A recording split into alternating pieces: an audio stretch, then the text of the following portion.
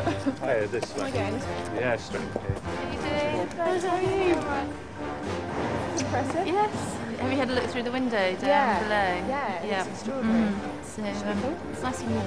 That's nice. Candice came up to me in a bar in Soho um, and showed me some pictures, and she said, "People in Africa need clean water. Would you mind helping?" And um, I'd been to Ethiopia and, and kind of seen slums there, and and um, and I think you know you, you come from London or Teddington like me, and I, I don't know what it's like not to have not to turn on a tap and be able to take a drink and not worry about getting typhoid or whatever. So um, I just thought if I could help out and swim around in a swimming pool a bit, then why not?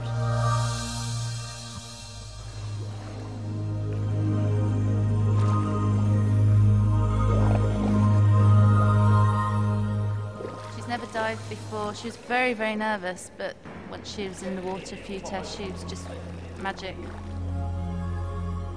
Don't worry, not everyone's going to have to dive like Keira. I have many clever ways of shooting, and you may not even have to get wet.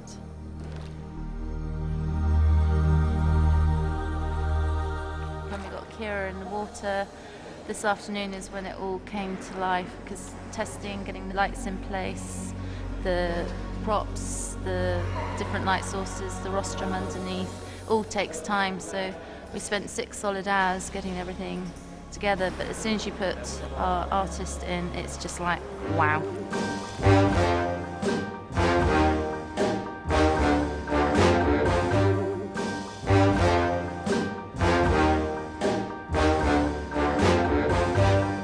Fish in the sea, you know how I feel. River running free, feel. Blossom on the tree, you know how I feel. It's a new dawn, it's a new day, it's a new life for me. And I'm feeling At first, I couldn't keep myself down. I just kept floating up. Um, apart from that, I think it went all right.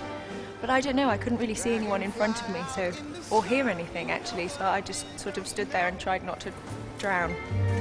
Butterflies all having fun, you know what I mean. Sleep in peace when day is done, that's what I mean. And this old world is a new all the divers around her holding the costume, the dress out, the movement of the water. I mean, it's just so, it's fabulous. I sort of chilled out, and I liked being just moved around. I felt like a doll. It was quite sort of liberating in a weird way.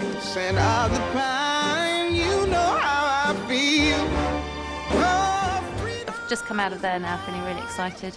I was getting through a roll of film faster than she was uh, needing to take some more air, so she's just suddenly chilled out, was relaxed under there, and it'll come out in my image.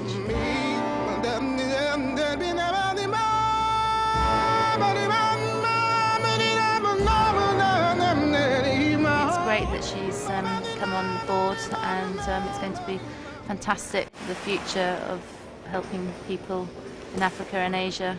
And we've got plenty of water. Let's get the water to the other people that don't have it and save lives. That's what all this is about.